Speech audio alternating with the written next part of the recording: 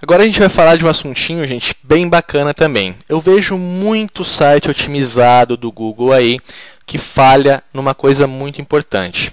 Você sabe que dentro do, do site a gente tem aí uma hierarquia de importância. Antes de a gente entrar nesse assunto de hierarquia, que são os headings, a gente vai falar sobre a imagem. Imagem também é seu, gente. Imagem sempre é seu. E como é que se aplica o seu na imagem? Você pode aplicar palavras-chave a qualquer imagem posta dentro do seu site. Você chamou a imagem, a tag title é tag dentro de uma imagem, o Google vai ler essa imagem e se tiver a tag title, você pode aplicar aí no title dessa tag as palavras-chave, serão todos resultados orgânicos.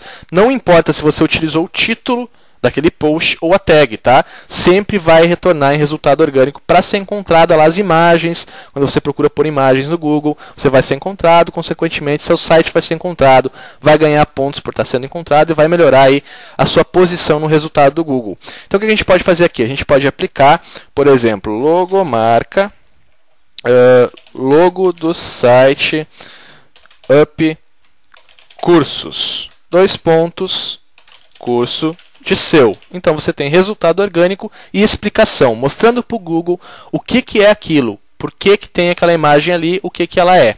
Então isso te gera pontos e ainda você usa ele com uma palavra-chave, ok?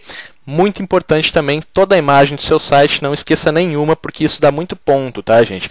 Toda, uh, se você vê nesses sites como o seu Master aí, o seu Brasil que tem uh, cotação de seu, ele te dá pontos uh, ele te dá muito pontos quando você joga aí um site todo com todas as imagens tendo title. E se você tiver uma imagem no site sem o title, ele tira pontos do seu seu. Então, é um ponto muito importante na sua campanha.